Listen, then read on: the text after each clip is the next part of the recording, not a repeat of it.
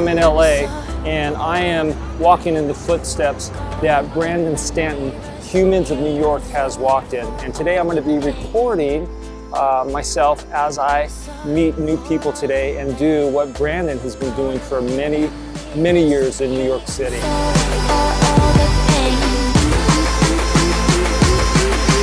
How you guys doing? Nice hat you've got on there. Nice. How's it going today? Great. Getting a lot of good conversations? Yeah. Okay.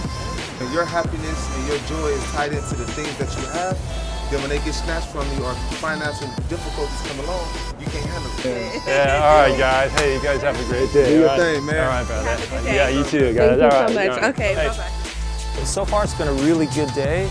It's amazing and surprising what you can find out and what you can learn about people when uh, you walk up to them.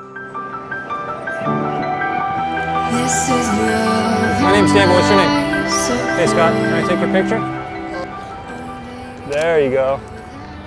One of the main questions I always get asked is, what is the purpose of Humans of New York? You know, what is the meaning of it? All right, so I'm wrapping it up today.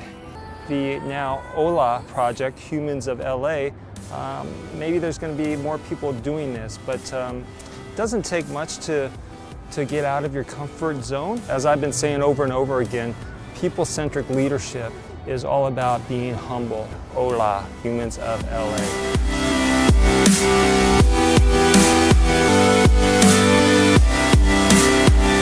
I'd love to take a picture of you guys. I got this project going on. So you guys look like you're friendly people. Would you be comfortable with me taking a picture of you? Act as if there's no camera here. There's no camera here.